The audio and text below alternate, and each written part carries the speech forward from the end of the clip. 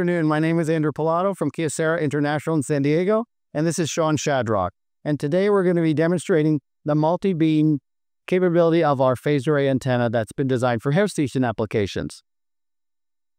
So Kyocera has designed and manufactured several different sizes of phased array antennas, some very small, 16 elements, to 32 elements, to 64 elements. But the ones that we're showing here today have been designed for base station, so much larger antennas. So these are two of the antenna platforms that we've developed. One 512 element array that scans in a cone, plus or minus 60 degrees in azimuth, plus or minus 60 degrees in elevation, with no grating lobes above the horizon. And the one that we're showing in this Rohde-Schwarz chamber is a 384 element array, also dual pole, that scans plus or minus, uh, 60 degree in azimuth, plus or minus 15 degree in elevation with no grating lobes above the horizon. This is a close-up of the antenna and, and, and an animation of the beam shaping, the dynamic beam shaping capability that we programmed into this antenna, as required by one of our um, base station customers. To be specific, they have asked us for seven types of beams, from very wide, 110 degree beam width, to very narrow at 15 degree beam width. And then also the intrinsic beam, which is uniform illumination, as well as taking that intrinsic beam and lowering the side lobe from 13 to 17 to 20 to 25 dB. And of course, those side lobes have to be preserved over the entire field of view. So no grating lobes above the horizon. Here's a picture of some measured beams at a plus or minus 60 degree azimuth scan with very low side lobes. In this case, minus 23 dB. So we believe this is important as we, um, as we approach these multi-beam deployments so that many beams can be operated simultaneously and you have the ability to shape the beam and to lower the side lobes to minimize beam coupling.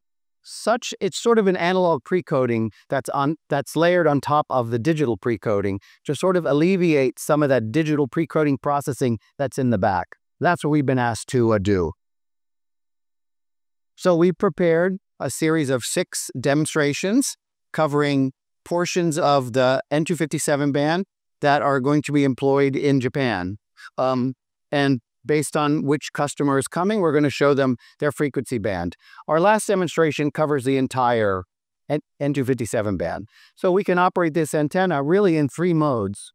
Use the antenna as one large 384 element array, and there's two beams, a V beam and an H beam, or we split the antenna into two pieces, 192 elements, 192 elements, and have four beams, V and H, or we split it into four pieces and have eight beams. Because the spec is 8T8R, this antenna can support 8T8R. So that means eight simultaneous beams pointing in eight different directions. They could be the same frequency, they could be different frequencies. So we're going to show you actually these um, some of these demonstrations. There's four of them actually. We're going to look at pointing the beam in four different directions. Um, we want to thank Rohde & Schwarz for graciously providing us with this wonderful 1800M chamber. It's a multi-beam chamber, and it has four reflectors. So we're going to point one, one beam at zero degrees, one beam at 60, one beam at 90, and one beam at 150. And there are no grating lobes above the horizon. So 150 degree field of view. So Sean will show you our first demonstration. All right. Okay. Thank you, Andy, for the very strong presentation. So the, the first demo that we have here, we have four simultaneous beam at four different frequency pointing at four different reflectors here.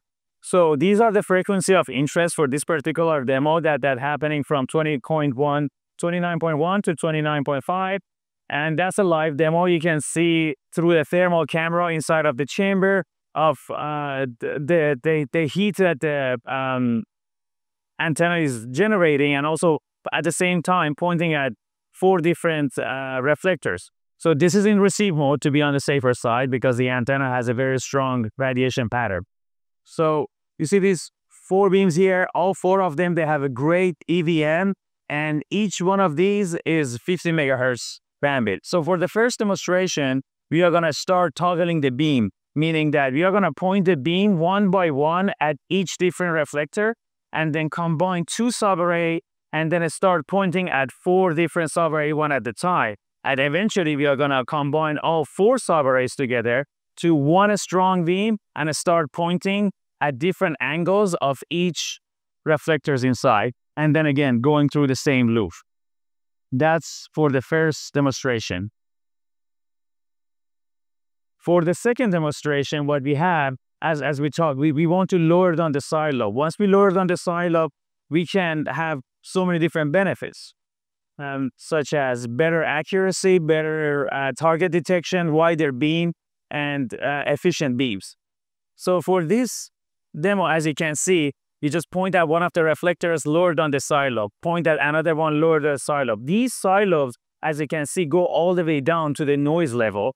And what it creates is beam agility. So if you have two target, meaning that you can bring them much closer to each other uh, without having much issues. Because these these guys are the one that usually causing the problem, which we can push them down all the way down to the noise floor. For the next demonstration, what we have, we have different beam widths. So in 3GPP requirement for the FR2, they usually required anywhere from 50 megahertz, 100 megahertz, 200, all the way up to 400 megahertz. And we can see 800 megahertz is coming also for FR2. So first we turn on each beam at 50.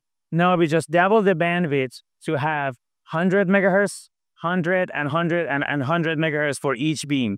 So we just want to show that these four beams that we talk about, that they're pointing at different reflectors at the same time can have different bandwidth at the, at the same time. And then eventually we can merge two subarray together and put 200 megahertz bandwidth and merge the other two together and point to a different reflector and have another 200. And for the last demonstration, we are going to merge in all four beams into one strong beam and have one continuous 400 megahertz bandwidth. So in all these demonstrations that, that Sean has showed, we've been operating at 256 QAM. So most deployments in the US for millimeter wave are operating at 64 QAM. So we've been asked to push this to uh, 256 QAM or 8 bits per symbol. So when we're at 400 megahertz bandwidth per beam, that's 400 megahertz times 8 bits, that's 3.2 gigabits per second per beam and there's eight beams, so that's 25.6 gigabits per second throughput through the antenna. So eight, eight bits per symbol, that's good for now, but we need to be ahead of where the DU and CU people are. So we're looking ahead. We need to get to 10 bits per symbol, which is 1024 QAM. So we've started working on this. And our chip people have started working on one modification that, that they need to make for the chip. But we can show you some 1024 QAM operation right now. Okay, thank you, Andy. So as you can see here, what we did, we just pointed one of the subarrays to one of the reflectors, and we increased the beam to 400 megahertz bandwidth and 1024 QAM. Very good EVM, less than 2% EVM, and that's a live demo. So basically, because we can generate all the way up to 8 simultaneous beam, they can have 32 gigabits per second That's a huge throughput that we can achieve. With the help of Rohde-Schwarz, we can have a very successful demo. And thank you.